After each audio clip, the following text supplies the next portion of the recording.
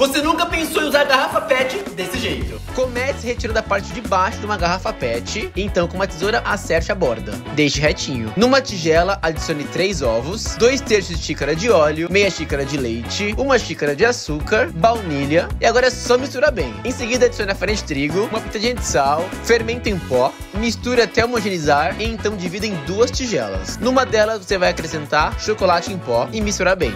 Numa forma untada, coloque a garrafa PET e sobre ela uma faca. Comece com a massa de chocolate e um pouquinho da massa branca. A massa de chocolate novamente, um pouquinho da massa branca, até acabar as duas massas. Tire a faca e também a garrafa PET e leve ao forno pré-aquecido até o teste do palito. Olha como ficou, que lindo, douradinho. E para cobrir o bolo, eu fiz uma ganache de chocolate meio amargo. Olha o desenho que ele fica. É o bolo que? Esse aqui é o bolo que? Bolo que?